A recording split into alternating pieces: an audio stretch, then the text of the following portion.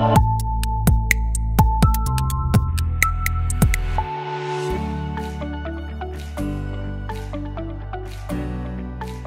user group uh, meetings are key uh, in the governance of KYC registry. They are the opportunity to share uh, with our peers strategic, operational and compliance topics. One of our role at SWIFT is to bring the financial industry together to discuss those industry challenges and see how we can build a solution to address all those common challenges. The KYC Registry User Group is a very good example where we have brought together financial institutions to discuss their KYC challenges and build a solution where standardization is the key component. So financial institutions come here not only to engage with SWIFT, but also to engage with their peers and find out that they all have the same challenges and that together we are stronger to make a solution which is working for all. The Swift KYC registry provides us a holistic view on our customers and moreover we have achieved a standardization of our questionnaires internally. Since the beginning of 2018 we've received over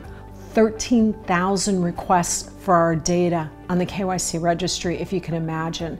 Now, if we were having to answer those all one by one by one, it would have taken a massive team. The KYC registry gave us the opportunity to centralize the process for receiving inbound requests on um, HSBC affiliates around the world. We now have a single team that answers all of those due diligence requests. ING uh, sees the KYC registry initiative like a perfect way to standardize the, the, the, the KYC exchange uh, across the market, both, both ways. So when the counterparty seeks to complete the KYC on ING, and as well as ING seeks to find the information on, on our counterparties. Embedding the Wolfsberg uh, correspondent banking due diligence questionnaire into the KYC registry was a very important step.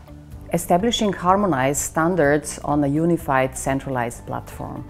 I've been involved in the registry for a few years now and that is proving a huge success. We're undertaking due diligence on other banks, uh, particularly the high risk banks, and we're extracting 90% of the information we need without actually approaching the bank. That means that the colleagues individually working the cases have got much more job fulfillment, much more engaged, but also there's a big efficiency element to it and therefore we can concentrate on those very specific questions often transaction monitoring related when we're doing our due diligence on other banks. It's been a huge success and I've really enjoyed being part of that journey with Swift.